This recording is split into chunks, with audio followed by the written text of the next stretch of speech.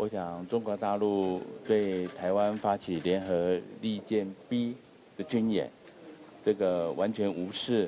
啊我政府释出的善意，也无视啊台湾人民啊对和平的渴望。那这个呃军演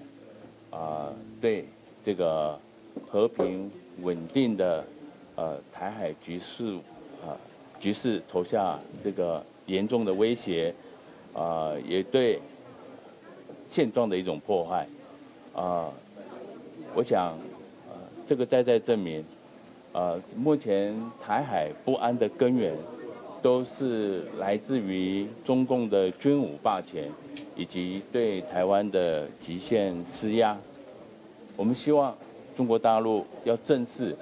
中华民国客观事实的存在，要正视台湾人民。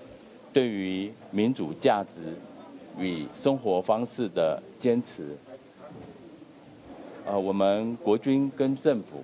都全程掌握，做好充分的准备，啊，一定对于保家卫国，好，我们做好了啊所有的部署，请国人放心。我们也可以看到，中共这一次透过这个联合利剑二零二四比想要将整个台湾问题，尤其台海在持续的内海化当中，包括昨天也是派出了这个辽宁号航舰编队。那目前陆委会对于这整个局势有什么样的一个掌握呢？我想，包括我们政府，还有我们国军，对于你所说的问题，都有全盘的掌握，也做好准备。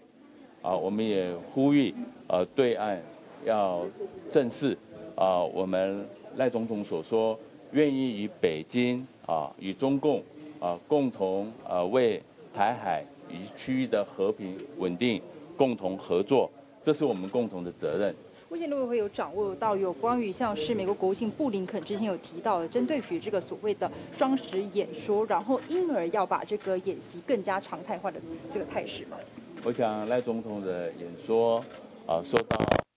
国内包括国际社会的一致肯定。啊，我们也希望啊，中国大陆方面要认真的解读，谢谢。